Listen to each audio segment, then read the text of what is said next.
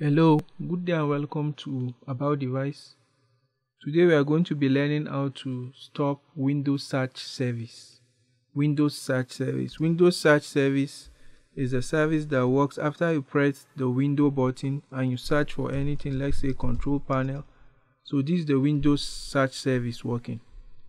Now this Windows Search Service use part of the memory and sometimes it makes the hard disks, especially if you are using uh, hard disks, that is the magnetic hard disks, it might make it slow. So how do we stop Windows Search Service?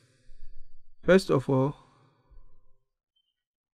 mm, you need to launch run. That is, you could press Win plus R, or you could right click on the Windows button and click on run, or you could press Window plus R on your keyboard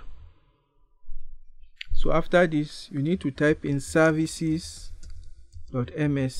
services.msc so, so this will open the services window. So we are going to search for the windows search service. So we are going to scroll down to w. Just press w on your keyboard to take you to w. So where we are going is what we are searching for windows search. So you click on windows search and then you right click and click on properties so after clicking on properties, you can see that it is running. If you want to stop it from running, you click on stop. So it says window could not stop service from running. So I'm coming.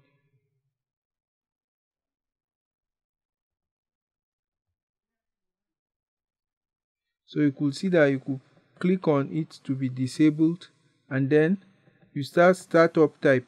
If you want to um, disable it completely you come to startup type and click on disabled. Then you stop the service.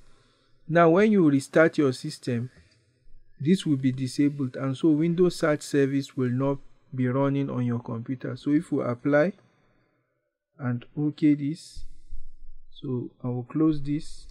You could see that the windows search service will not be indexing search indexing will be turned off. And so that is it. So you could also turn it back on. So thanks for watching this tutorial. Hope you've learned how to disable window search indexing. That is the search indexing and windows search. So thanks for watching this tutorial. Please like comment below for any issue faced and also subscribe to about device for more tech related tutorials. Thank you